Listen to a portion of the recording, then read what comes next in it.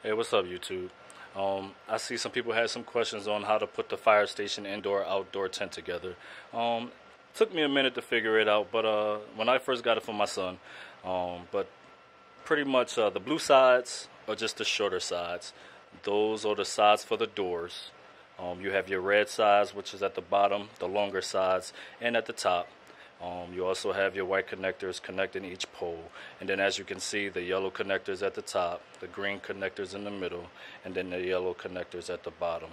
And the only thing you're doing after that is pretty much putting the cover over, over top of the poles, and then your kid can go to town.